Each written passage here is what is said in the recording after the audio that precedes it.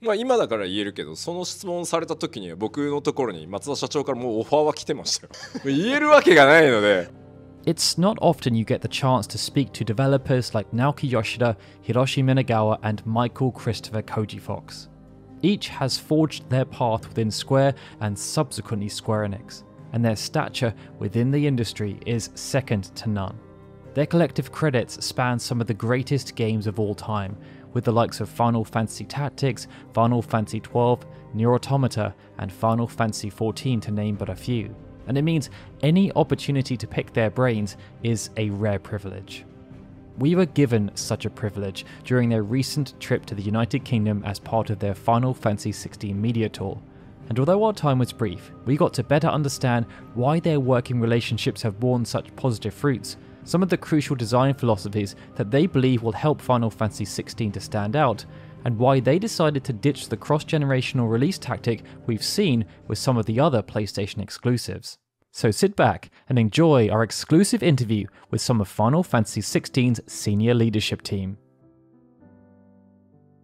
You've worked together in various ways for well over a decade, extending beyond Final Fantasy XIV. There was the cancelled Bloodborne esque game you've spoken about, and you also took numerous collective trips to Europe to learn and improve.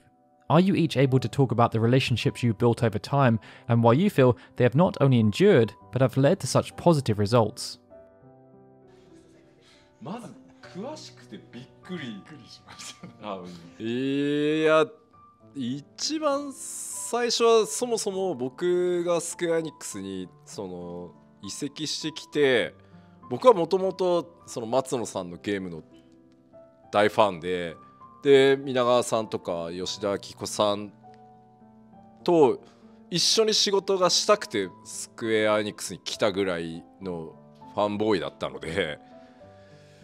なんだろうそれがこうようやく一緒にゲーム作りにチャレンジできるかなっていうタイミングで、まあ、結構14が大変なことになってるんで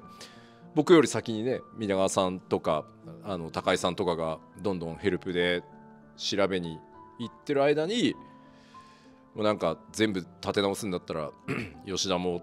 参加してみたいな 話からスタートしててなんか気づいたら僕は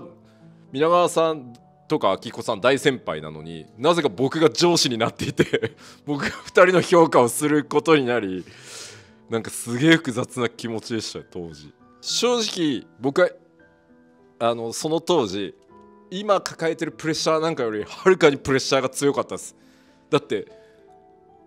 憧れの先輩たちと仕事をして自分がどう思われるんだろうっていうこうプレッシャーの中でその一緒にゲームを作ろうとしてたのに気が付いたら上司だからもっとこうプレッシャーが強くてもうなんか見捨てられたらどうしようとかこいつなんか大したことねえなって思われたら 嫌だなと思ってすごいきつかったですよプレッシャーは。それは僕もです。10年以上やってる感じっていうのはもうあんましないんですよね。まあ年取って時間の流れが早く感じるっていうのもあるかもしれないですけどあの14と、まあ、162本やってそれがすごく長いかっていうと結構いつの間にかもう本当にあっという間に過ぎ去って今に至るって感じですね。振り返って言えるのはみんな結局ゲーム作るのが大好きで普段じゃあなんかこういつもしょっちゅうこうご飯食べに行ったり飲みに行ってるかっていうと実はほとんどなくて。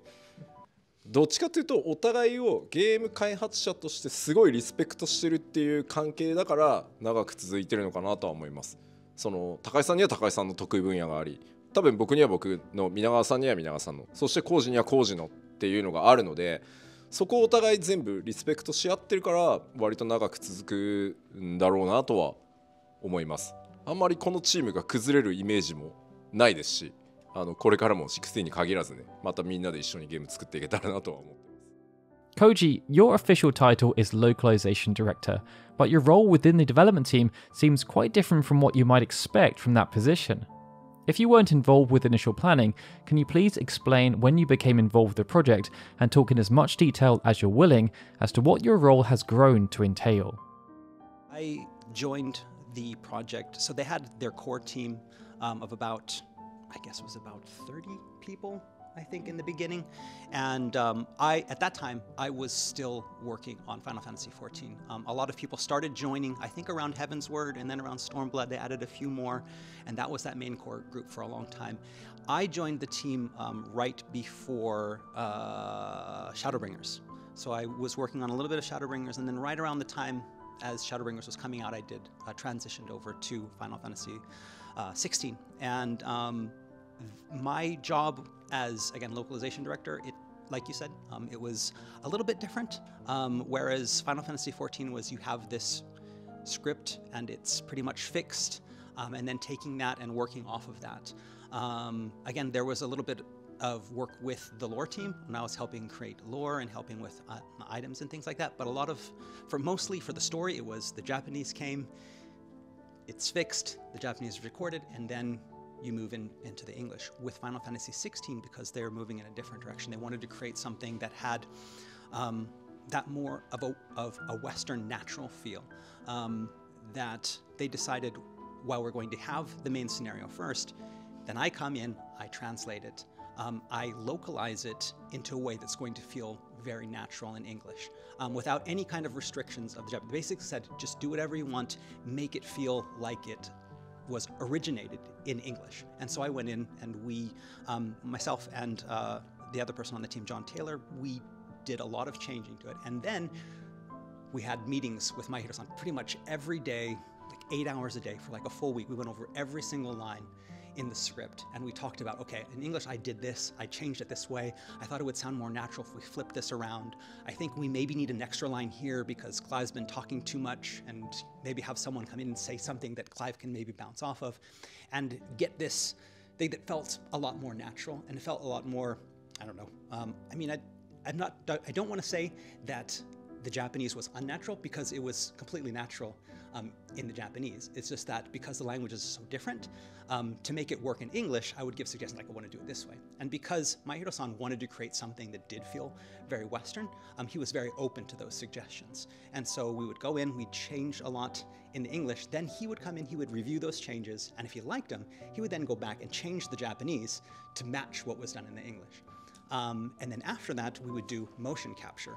um, to the English um, using, um, we had a motion capture team in Japan, but we also had one um, over here in Europe as well. Um, so we had um, very natural motion capture actors that were acting to the English. Um, and then we took the uh, English voice first before the Japanese, and we did face cam with uh, the English uh, voice actors. And so all of that, instead of up until now, Final Fantasy has usually been the Japanese is done, and you're kind of doing ADR, you're matching um, those Japanese lip flaps and trying to get something that feels natural with all the pauses that are in the Japanese and the pacing in the Japanese. And sometimes it works and sometimes it doesn't just because there's so many restrictions. This time we didn't have those restrictions. We were able to go in and do something that was felt really natural from the from the start and being a part of all of these. So it's not just again translating the lines, it's translating them, working with the team to kind of rewrite them, give them a better feel, then being involved in motion capture, being involved in facial capture and recording um, and then kind of putting that all together. And I mean, that's just with the main scenario. I mean, there's lots of other things I was doing as well. And so, localization director, you kind of think, oh, it's just localization. But there's so many things that I ended up doing that even Yoshida san was like, are you sure localization director is okay? Because you're doing this, this, this, this. And it's like, well, but if I put all of that in there, it's going to be really long and unwieldy. So, just localization director is fine. I'll explain it during interviews. And so, that's what this is for. Thank you. Oh, I really love it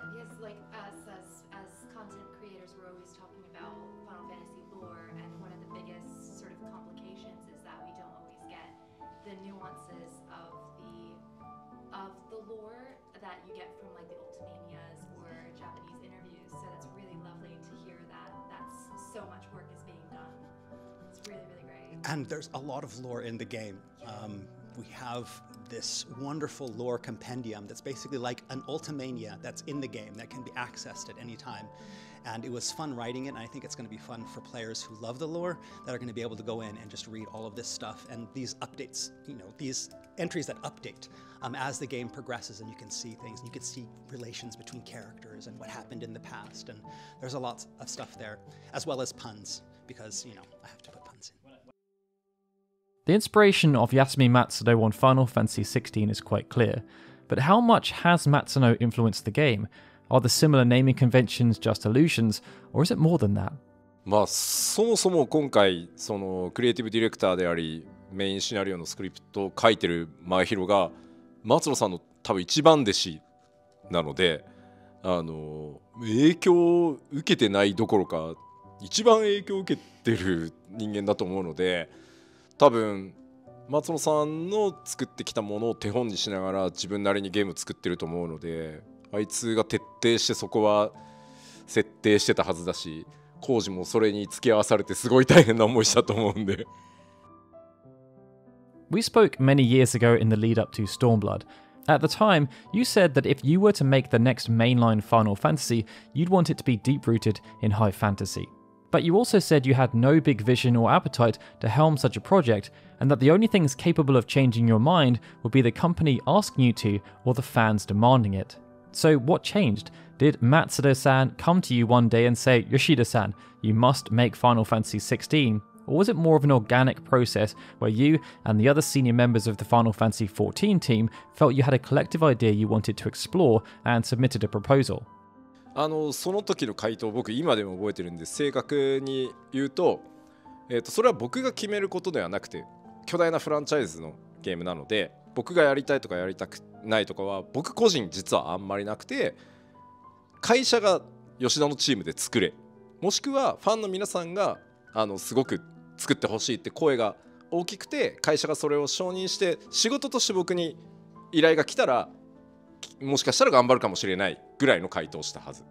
まあ今だから言えるけどその質問された時には僕のところに松田社長からもうオファーは来てましたよ 言えるわけがないので あの答えた通りで僕は自分から作りたいっていうよりもあの望まれるんだったら頑張りますっていう方なのでまあ実際社長からその次の最新作16は吉田さんのチームでなんとかできないかって言われたのでそれ自体はぱり14の立て直しだったり14そのものが評価してもらえたっていうことなのですごく嬉しかったですけどやっぱり同時に僕は14のプロデューサーとディレクター今でもやってるのでやっぱ16のディレクターをやるのは多分無理ですと。それはもう14のファンにも16のを買ってくれる人たちにもやっぱり失礼に当たるからディレクターをどうやってその誰にするかでどういうゲームデザインにしていくかっていうところに関しては14もまだまだ成長していく途中だったので、まあ、結構時間かけてじっくり少しずつ小さなチームを作ってやっていくっていうことをスタートし始めた頃だと思うので、うん、まあそんな感じでスタートしてますね。Minagawa-san, the UI on Final Fantasy XVI has been a hot topic of conversation, with the damage numbers being a particular point of contention.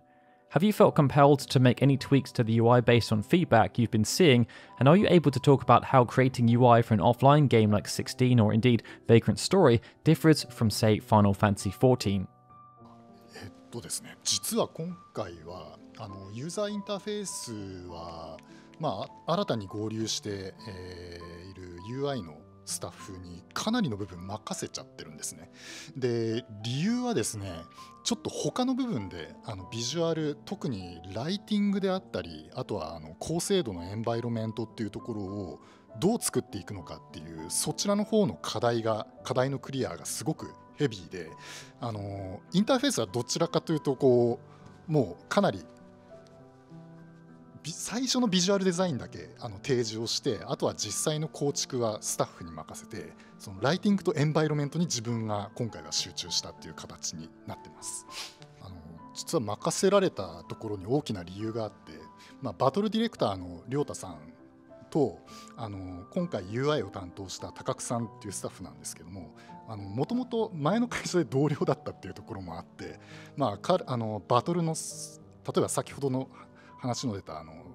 数字のポップアップであるとか、まあ、そういったバトルのインターフェースをどうしたいかっていうのを彼ら2人がかなり連携して密に話し合って決めていったので、まあ、そこは本当に安心して見ていられました。あの UI に関しては結構初公開した時からちょっと格闘ゲームみたいだとか今までの FF のスタイルっぽくないっていうフィードバックは見てはいるんですけど、えー、と実際には一旦すごい FF に寄った UI 作ってはみたんですよ。ただ今回アクションのスピードがかなり速いので画面に馴染みすぎてて全然目に入らないっていう現象が起きたのでもうディレクターの高井も含めてもう全部前に出そうともう表示しなきゃいけないものは絞る代わりに目立つようにって言ってあえてやってるのでこれはねプレイしてもらえれば絶対馴染むので大丈夫だと思います。You've spoken a lot about the relationship you have with Sony and how they've provided not just development support but also support in other areas such as marketing. But when did Sony get involved? Was it when the game was still in development for the PlayStation 4, or did it happen when development started shifting to the PlayStation 5? それはさすがにあの会社対会社の話しすぎてあんまり喋れないかなまあで作ってる途中で PS4 じゃダメだ動かないこれ僕らが目指してる ゲーム体験をもう PS4 ではちょっと表現できないでこれで PS4 を何としてでも出そうとするとさらに開発が2年とか伸びる可能性があるっていうのが見えてきたので、まあ、僕のジャッジとしても PS5 オンリーでいいっていう話をして今に至ってますね。Thank you すごい詳しいね。You guys know a lot.